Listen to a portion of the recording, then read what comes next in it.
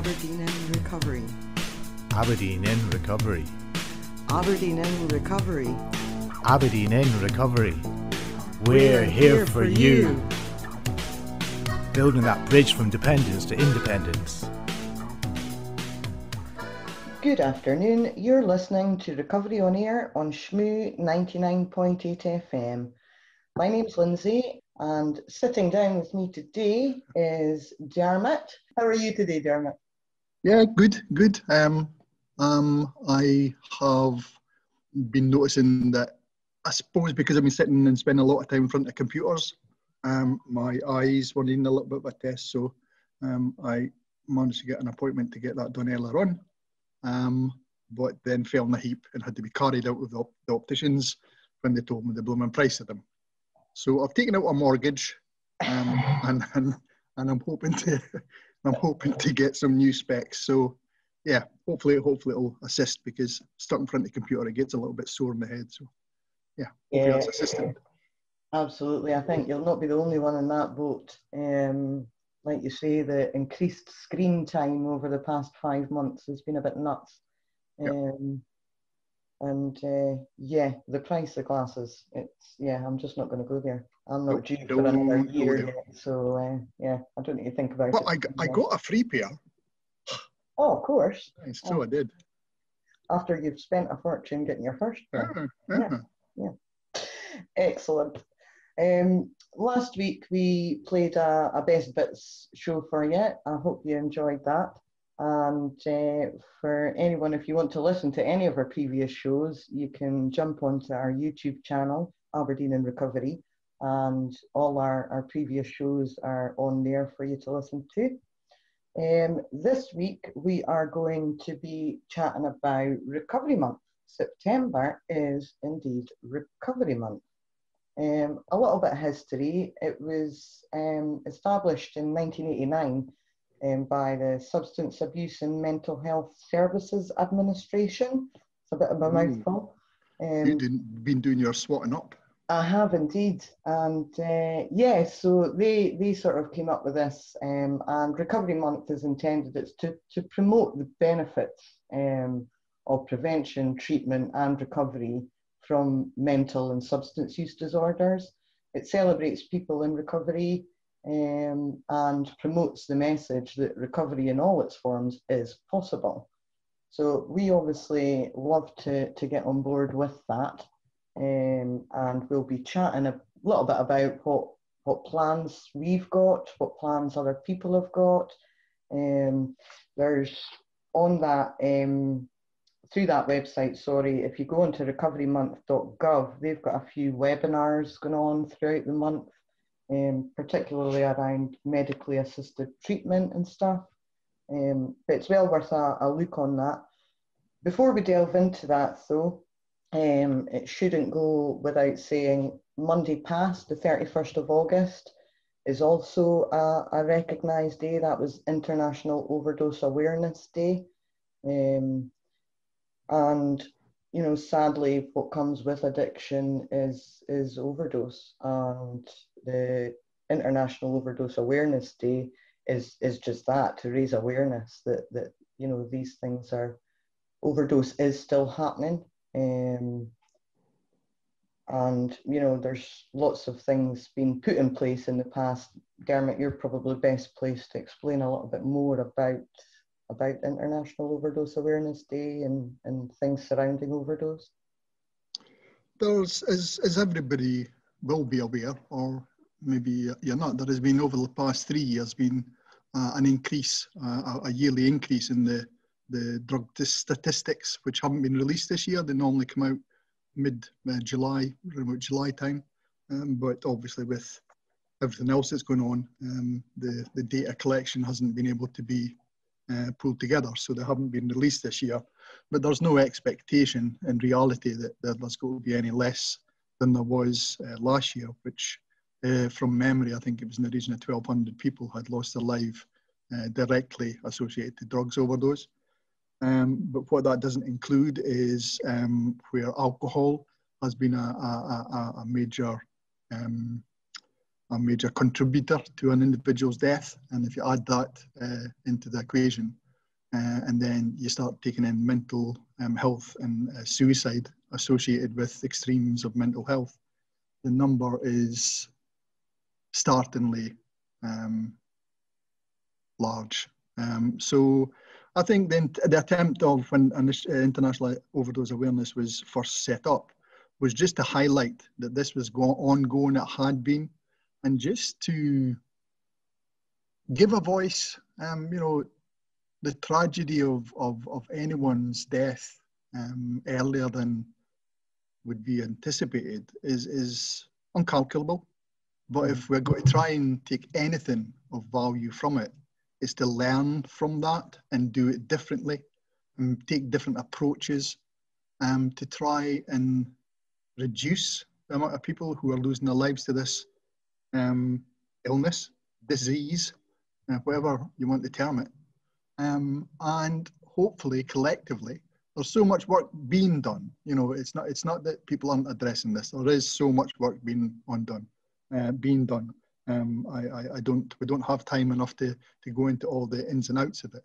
Um, but the the the the drugs deaths drugs death task force was set up, um, and they have that body of individuals have been working very hard with a lot of contribution from lived experience um, and lived experience communities.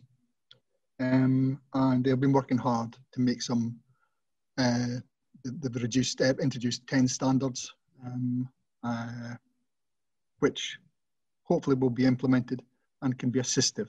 But I think the best thing we can do is to accept that addiction is out there, it's not going away. Um, stop keeping it in closets, um, embrace it more, um, and for everyone just to be a, a little bit more compassionate. Um, step away from your stigma and any uh, association that comes with addiction because at the end of the day, there's a human being behind everything you may see. And if we can look at that with empathy and with compassion, um, hopefully we can put in measures that individuals aren't getting to that point of desperation. Um, help is help is engaged with, help is offered and availed at an earlier stage, um, so that that uh, the, the the the fall to that depths of desperation um, doesn't happen as often as it has. Um, so I, th- I, think you know, and the, the the the part of it is not to get too lost in the the sadness and the grief, um, uh, to turn some of that pain uh, into passion, and and and let's all get active and, and do as much as we all can do collectively, um, to to do to make the best efforts to, to reduce this in the future. Um, so don't want to concentrate on it too much because it's very hard not to get pulled into the sadness of it. Um, but I think anyone who has experienced a loved one's passing would wish to say that no, we move forward from this and, and hopefully reduce the, the, the, the times that people have to suffer this kind of pain. Yeah, thanks, Dermot. And and that's it. It is. It's I guess when you're in recovery, it's all about making change and embracing change. Um, and, and in some respects, there needs to be a, a kind of societal shift in thinking um, if we are really going to make positive change. And the fact that the government has set up this, this drug deaths task force can only be a good thing. Um, and, and we've got to take those positives when they come. Yep. You're listening to Recovery on Air at Shmu 99.8 FM. Recovery, a journey of discovery. Welcome back, everyone. So, yeah, so today we're speaking about Recovery Month, September um, being Recovery Month. And I suppose the biggest thing, um, if you're in recovery for people's calendars, is SRC usually do organise the recovery walk. Um, which is certainly one of the highlights of my annual calendar. However, given the circumstances, that isn't happening in its usual form. Um, but we, we did have a meeting uh, uh, last week about plans and date for your diary to pencil in. We are talking about a virtual recovery walk, um, potentially on the, the 26th of September, um, which is a Saturday. So stay tuned um, to get more information on that as the the days go on and the weeks. Um, we'll obviously, if we once things are organised, we will post it up onto social media um, and our website and all our other our media channels um, to let you know how you can get involved in that. Yep. Um, I don't know if there's anything that you can think of, Dermot. Are you going to rake out your chicken suit? You know, and Yeah, yeah, chicken, chicken suit and a kilt, Yeah, chicken yeah. suit and a kilt and banana boots. Options are endless. Yeah, Oh. yeah, absolutely. Uh, and I think the idea is that, that, that all the local communities will arrange some kind of ramble or a walk of some form. Um, we, we've got plenty of options in Aberdeen. We'll pull some silly, something silly together.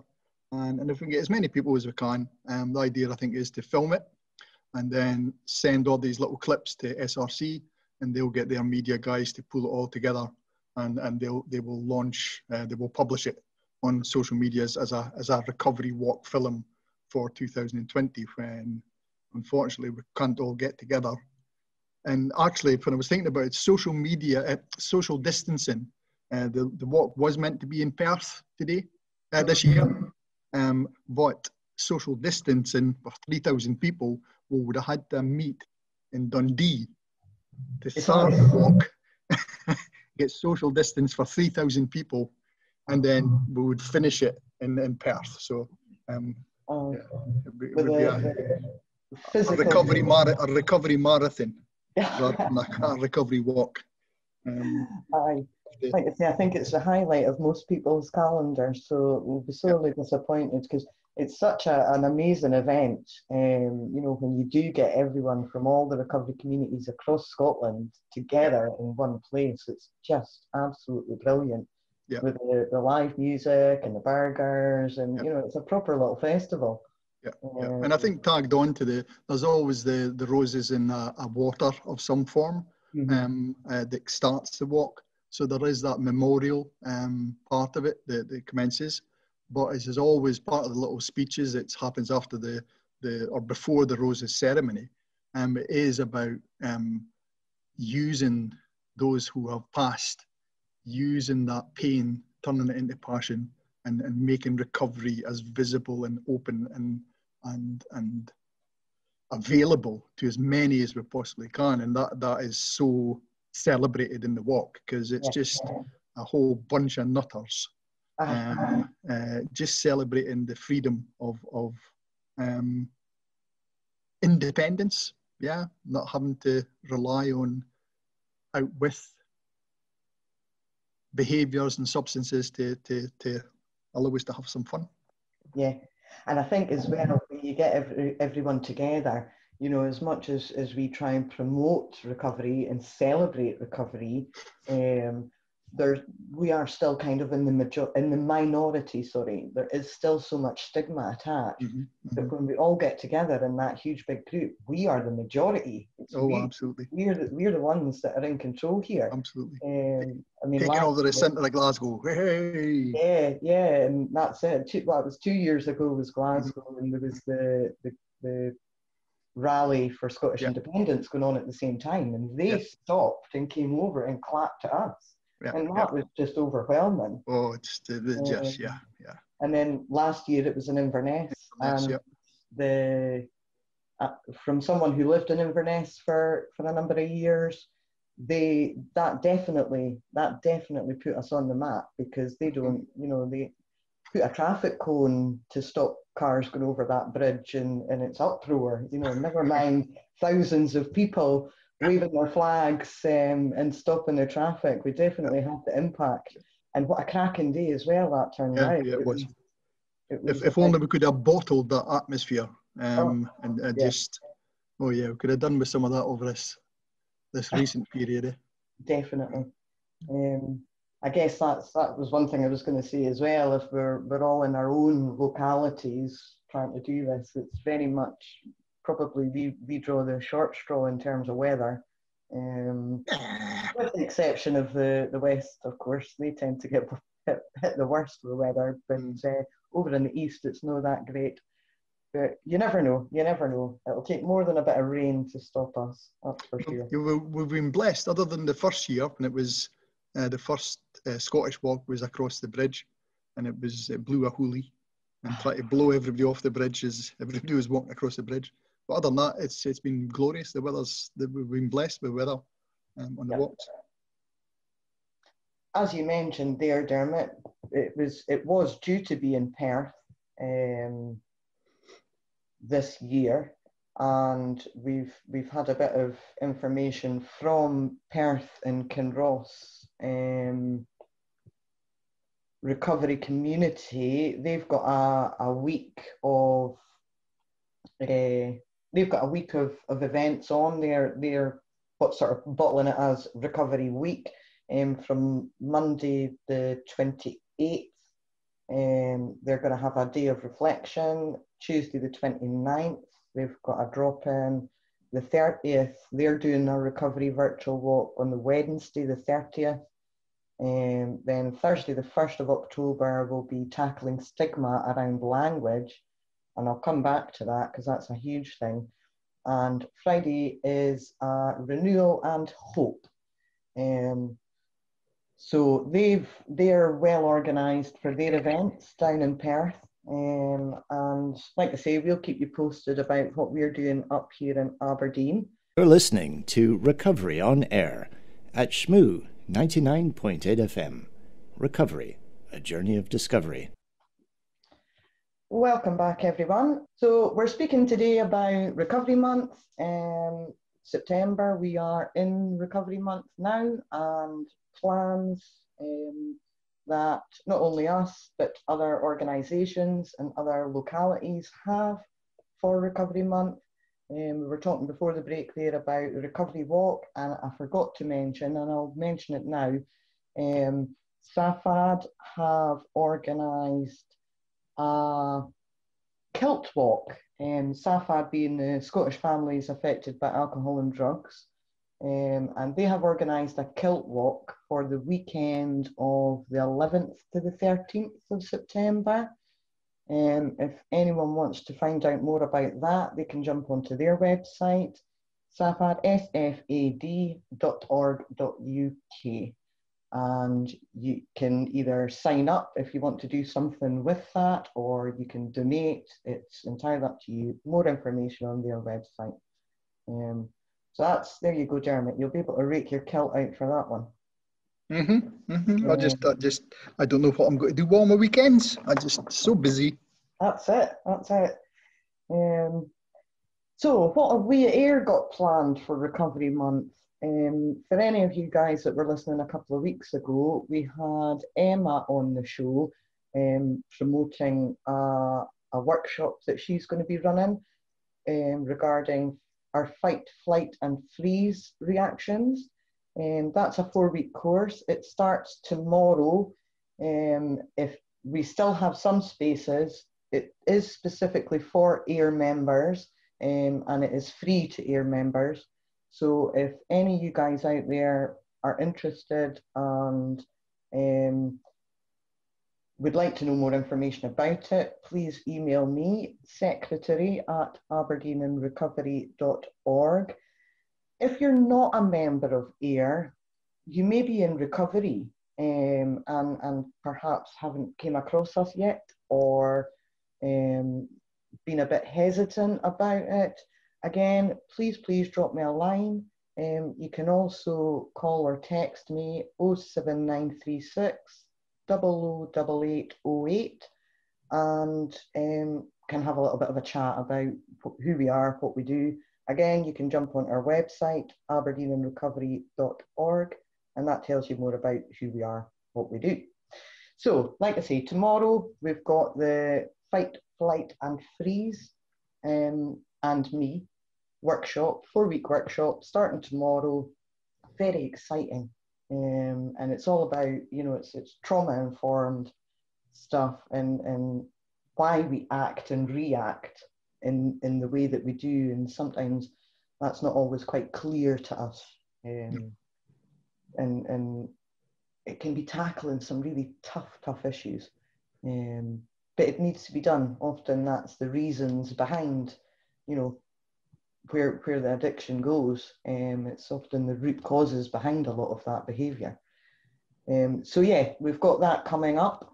And Dermot, we've also got mindfulness. Yeah, Um, we've been um, collaborating with uh, Mindfulness Stonehaven, uh, the two ladies that run uh, Mindfulness Stonehaven. Um, if you want a little bit more information of what they do and the, the training and, and, and sessions, uh, mindfulness sessions they have, uh, uh, they run, um, uh, they have a Facebook page, um, Mindfulness Stonehaven. Um, so if you do a, a search on, on Facebook, you can find them but they we have agreed with them for them to come along and both Sarah and Lynn are trained in the MBAR, which is mindfulness based addiction recovery. Um, uh, it's a whole program um, which they deliver over eight sessions. So we will be holding a, an information session.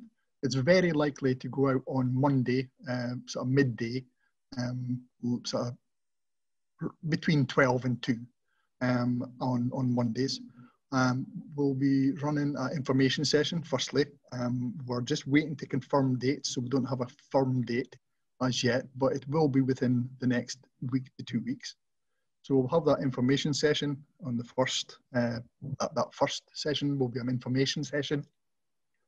And then it'll be followed uh, by the whole course delivered over eight um, rolling sessions over the following eight weeks. Um, I don't, I, I haven't, I haven't actually, I've read a little bit about the MBAR as a, as a therapy. Um, but I do, and I have, uh, and I do, I practice mindfulness.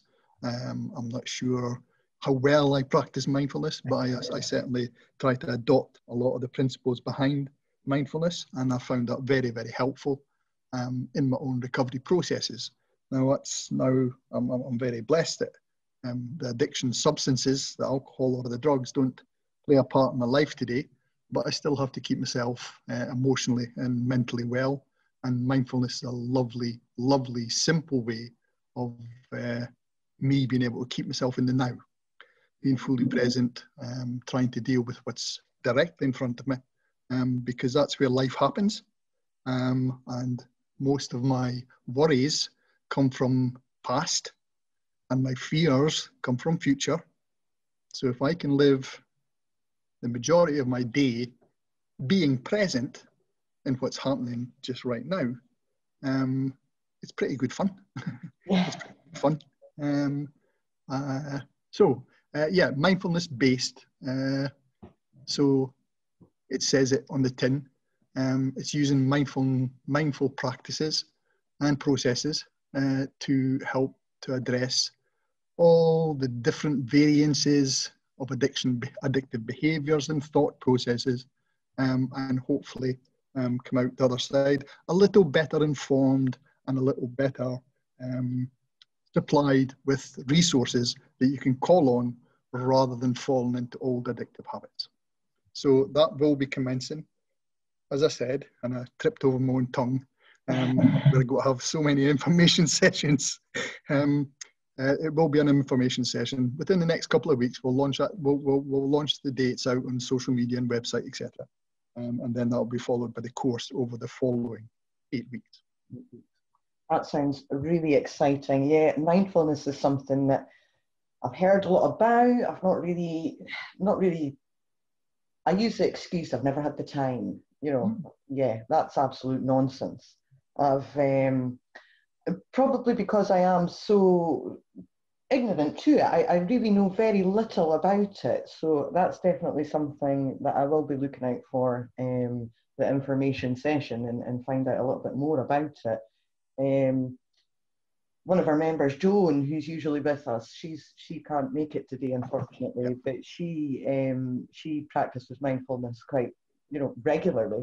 Yeah. And um, she actually has written a, an article um, for our latest magazine, which is due um, to come out at some point this week, maybe next. Um, Yep. And obviously, we've got a little bit of restriction because it's a physical magazine and the way things are just now, we're not sure how that's going to work. But we will do our best to try and get it electronically up onto our website. Um, and the, the article that Joan has written about mindfulness is, is very inspiring. It, she, she, you know, sort of explains a little bit about it, but particularly how, how she's adopted it and how much it's helped her. Um, so yeah, I'm excited about that one as well. So two kind of alternative therapy style um, things coming online this month. Um, like I say, we've got the the flight, fight, flight, and freeze workshop starting tomorrow. I forgot to give you out the website for that. Um, Emma, she has her Facebook page. If you go onto Facebook and search "Grow Free" with Emma V, um, you'll find her Facebook page. And if you want to sign up to get information emailed to you, you can pop onto her website www.grow-free.com and you can subscribe and get worksheets and, and various other information about that. Um, and then we've got the, the Mindfulness Stonehaven um, ladies coming along to start that. Exciting. Yep. Lots Yep. exciting. And the, the, the city and guilds that, that a couple of the guys have been doing on the um, the Wednesday um, uh, midday slot. Um, uh, I think they'll sort of come to the end of the, the, the modules that they were doing, um, maybe the next couple of weeks. Um, but the foyer outreach team, um, we have agreed that they'll continue to avail uh, City and Guilds uh, modules and City and Guilds certificated um, training.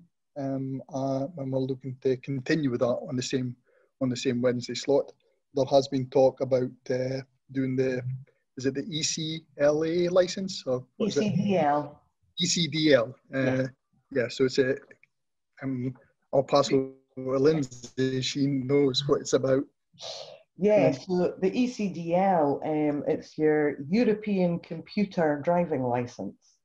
Um, and it basically is, it teaches you the, the basics of your, your computer, particularly um, Microsoft Office, you know, your basic packages, Word, Excel, um, just so you can get to know a little bit about, you know, how, how a computer works. And the, majority of programs that people work with um, are, are Microsoft, um, let's say Word, Excel, PowerPoint, um, and that kind of stuff. Really worthwhile Yeah. course, if, especially, you know, this situation with um, lockdowns and everything going online. There's a lot of people, you know, for the very first time sitting in front of a computer um, and, and primarily using it for, you know, these kind of meetings and online video calls and stuff. Um, but if, if it's kind of piqued your interest a little bit about, you know, hmm, there's a lot more on this machine that I can do, then that's definitely a worth, worthwhile course um, Mm. for you to get involved with. So yeah, great stuff with training Yep. um, coming up. And also to let uh, the guys know, um, through the Anchor uh, community funding, we have availed some money to uh, provide um, laptops um, and little small, uh, I what are they called, Li- little, little computer things, um, uh, which we can uh, loan out. Yeah, so so we can we can let have, we can let people who are attending these courses uh, to try and learn the things like that, just to have practice while they're doing that training. So uh, just let the guys know that it's available as well. So again, for AIR members, um, if you want any more information, just drop me a line. Um, and if you need any technology or help with getting online, then we can we can sort that out for you. You're listening to Recovery on Air at Shmu 99.8 FM. Recovery, a journey of discovery. Welcome back, everyone. So yes, September is Recovery Month, and we've been speaking about plans that are afoot um, with regards not just our own plans, but other other plans for other recovery communities around Scotland, um, and things that we can tie up together um, and, and work with each other to highlight um, and celebrate recovery um, throughout this month. So before the break there, we mentioned about some alternative therapies that we've got coming online, um, about training opportunities that have been going and will continue to go in facilitation, um, in collaboration, sorry, with the FOIE. Um, and we've also got some naloxone training. We mentioned at the start of the show um, that Monday past was International Overdose Awareness Day. Um, I guess one of the biggest moves forward in terms of mitigating overdose was the introduction of naloxone, um, which is a, a, drug that can be administered which temporarily um, reverses the, the effects of overdose. Um, and that that's, can be a huge, huge uh, lifesaver um, just to buy some of that extra minutes before emergency services can get there. Um, so currently, Alcohol and Drugs Action, um, they supply and deliver uh, naloxone training um, for any individuals out there who not necessarily themselves pose high risk of overdose, but family and loved ones of, of those kind of high risk people. Um, so in addition to that, AIR, we are, we are now registered uh, to be a supplier of naloxone and we will be looking to deliver training um, on that as well. And again, that's not just for AIR members, that's for anyone at all. If, if you feel that it would be beneficial for you to carry um, naloxone, then do get in touch um, and we can give you some more information about that. Dermot, you'll need to keep me right. Am I right in saying that the new nasal spray has now been licensed over here? Sorry, yeah, and um, they're, they they have now licensed. It's now been licensed to uh, for general release um, of the Nick. I think it's called Nyxoid. Um, don't don't quote me on that, uh, but it's a nasal spray so that the naloxone medication can be de delivered through a, a nasal spray. Um, it, this is actually amazing news. It's so, it's it's a little bit of a tragedy that it took so long uh, for this to be introduced because an awful lot of um, uh, fears were associated with naloxone because it had to be uh, administered by injection, um, whereas the new Nyxoid, um, it's a nasal spray. Um, so that overcomes anyone who has any kind of phobia of needles for themselves or but also for you know using a needle to administer it to someone else. So um, in us now and, and ADA and other, other, other agencies, pharmacies, etc., um, there's, there's a massive push being uh, given to the availability of, of both uh, naloxone uh, kits and the Nix, uh, Nyxoid um, and nasal sprays. Um, ADA have released a, a whole program of training days, um, but we will fit in in and around that. And um, we, don't, don't want to, to double up on the same days, um, but we would really, really hope to encourage family members to come across because, as Lindsay said, um, the delivery of uh, naloxone uh, can uh, overcome the effects of opioid overdose, and it's a very safe of training and to carry a set. Yeah, yeah, um, and I, I, can absolutely relate with that. I mean, when when it was first mentioned to me about naloxone and and the thought, you know, I'm not afraid of needles myself personally, um, but the thought of jabbing somebody else, um, just it, you know, oh my word, no, I can't do that. I can't possibly do that. Um, until somebody acts, asked me the question if it was a choice between letting somebody die or jabbing them with a needle. Well, that, there is no choice then, is there? You're going to jab somebody with a needle. But yeah, the, the Nyxoid nasal spray, massive jump forward and, and really, really pushing to, to get that um, out there. Um, yep. And yeah, ultimately, the bottom line is you, it, it can save a life. Absolutely. Um, and, and every life is worth saving. Absolutely. So yeah, so again, plans are to get this online, um, to to get up and running with that. So watch all our our media outlets, um, website, social media, radio, um, to to find out more as and when we get dates and and plans firmed up for for things. Um, so on that note, as well. Um, we have been doing quite a lot of work on the website, on our website, um, and we have we are in the early stages of creating a resources section um, and members area of the website.